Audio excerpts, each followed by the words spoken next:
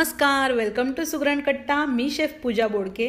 Friends इथे आज मी अगदी धाबा स्टाईल एग लजीज बनवणार आहे. म्हणजेच अंडा लजीज ही ग्रेव्ही बनवणार आहे. अतिशय टेम्पटिंग आहे झटपटही होणारी आहे. आणि मी गॅरंटी देते की ही तुमच्या घरच्यांना आवडेलच आवडेल. तर जर माझी रेसिपी आवडली तर लाईक करा शेअर करा सबस्क्राईब करायला विसरू नका. सबस्क्राईबशी जर एक बेल आयकॉन असेल तोही प्रेस करा. म्हणजे मी ज्या कुठल्याही रेसिपीज टाकेल त्याच्या सगळ्यात आधी तुम्हाला नोटिफिकेशन मिळेल. चला मग बघूया ह्या झटपट होणाऱ्या एग लजीजसाठी काय काय साहित्यकृती आहे. तर इथे मी कढईमध्ये तेल टाकून घेत आहे. साधारण दोन ते तीन टेबलस्पून तेल घेतलेलं आहे. आणि ह्यामध्ये पाच अंडी टाकते. ही उकडलेली अंडी आहेत आणि ह्याला टूथपिकने थोडेसे टोचे देऊन घेतलेले आहेत जेणेकरून मसाला छान आतपर्यंत जाईल. तर ह्याला जरा शॅलो फ्राय करून घेते. टोटल इथे मी सहा अंडी वापरणार आहे. एक अंड मी नंतर वापरणार आहे. आता पाच मी शेलो फ्राय करून घेते.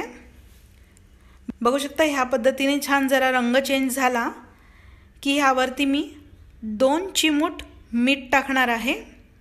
आणि एक दोन चिमूट किंवा मग वन फोर्थ टीस्पून लाल तिखट टाकणार आहे.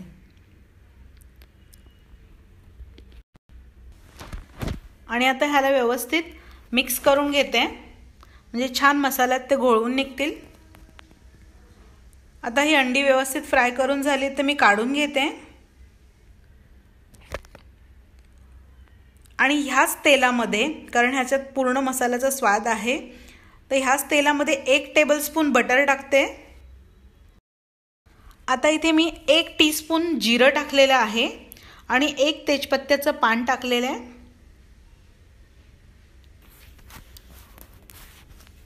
आणि आता ह्यामध्ये मी दोन बारीक कापलेले कांदे टाकते.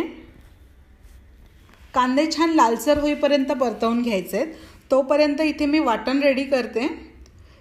ह्यामध्ये मी तीन टोमॅटो जस्ट रफली कापून घेते कारण ग्राइंडच करणार आहे.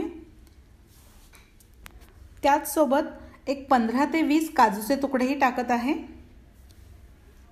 आणि इथे मी दोन हिरव्या वेलच्या दोन लवंगा घेतलेल्या आहेत त्याही यात टाकते. आठ ते दहा लसूण पाकळ्या आहेत. त्याचसोबत एक इंच आलं आहे. दोन टेबलस्पून क्रीम आहे किंवा दुधावरची साय वापरू शकता. आता हे सर्व मिश्रण मी व्यवस्थित मिक्सरमध्ये ग्राइंड करून घेते. स्मूथ अशी पेस्ट झाली पाहिजे. तर इथे कांदा छान व्यवस्थित लालसर व्हायला लागलेला आहे. रंग याचा पूर्ण बदलला आहे. एक हिरवी मिरची या पद्धतीने कापून टाकते. मी तुकडे मोठे ठेवले जेणेकरून बाहेर काढता येतील.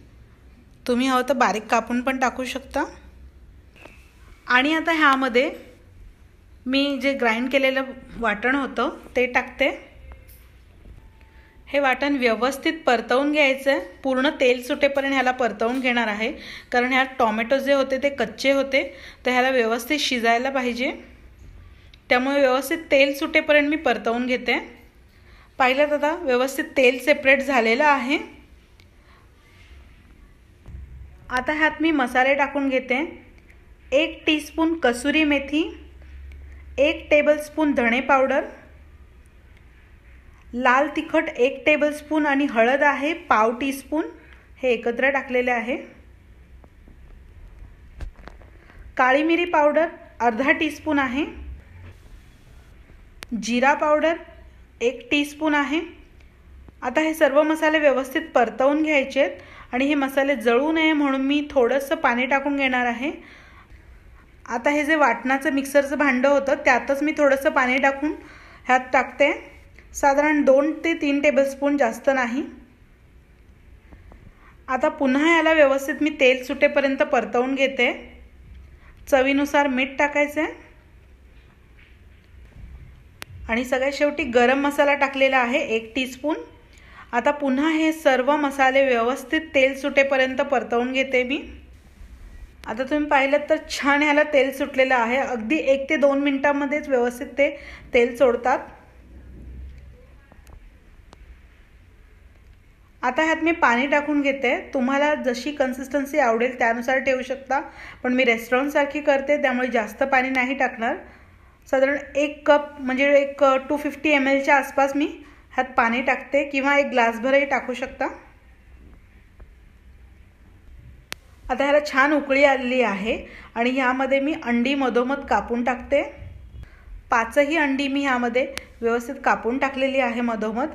आणि एक जे अंड आहे ते इथे मी ग्रेट करून टाकणार आहे म्हणजेच किसून टाकणार आहे. टोटल सहा अंडी इथे वापरलेली आहेत आपण. या पद्धतीने ग्रेट करून टाकल्यामुळे ग्रेव्हीला खूप छान टेक्स्चरही येतं चवही खूप छान लागते. तर आता मी जास्त ढवळून घेणार नाही अगदी हलक्या हाताने फक्त मिक्स करायचं आहे आणि आता याला झाकण ठेवून साधारण चार ते पाच मिनिट व्यवस्थित याला दम येऊ देणार आहे. आणि आता पाच मिनटं झालेली आहे आणि तुम्ही जर पाहिलं तर संपूर्ण तेल सेपरेट झालं याचा अर्थ ग्रेव्ही व्यवस्थित शिजली आहे. जर अशा पद्धतीने तेल सेपरेट नसेल झालं तर आणखी दोन ते तीन मिनिट शिजवा. आता सगळ्यात शेवटी ह्यावर मी फक्त कोथिंबीर टाकून घेते आणि ही डिश सर्विंगसाठी रेडी झालेली आहे. तर मी खात्री देऊन सांगते तुमच्या घरच्यांना ही रेसिपी आवडेलच आवडेल. ही डिश तुम्ही नक्की करून बघा आणि कमेंटद्वारे सांगा मला कशी वाटली ती.